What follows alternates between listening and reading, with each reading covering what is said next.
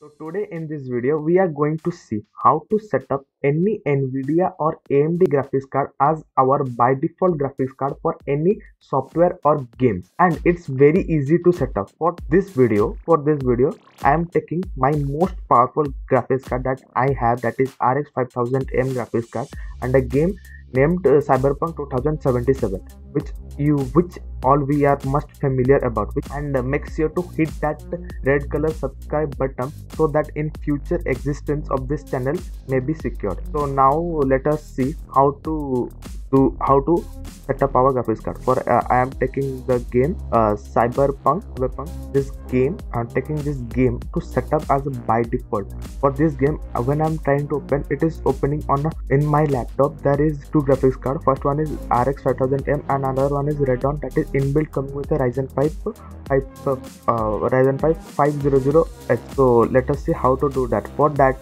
we have to click on the start button then we have to go to the settings. It's very easy to do.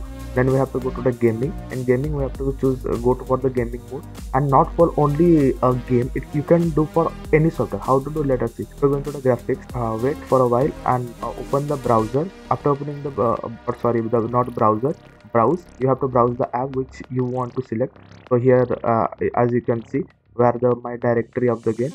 So this is uh, so this is let me show you from the starting. uh, this PC and from my Windows C uh, my C drive uh, games in games that uh, this folder and uh, let me uh, make sure to make sure that your .exe file is only saved. Other files it will not work. After saving add and ha. Yes I have already here added.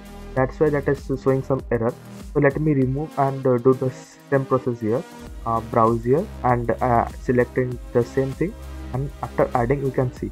Now let us see the important thing let's window decide power saving mode and high graphics card. That i told you that laptop contain two graphics card that generally a normal uh, dedicated graphics card content laptops have.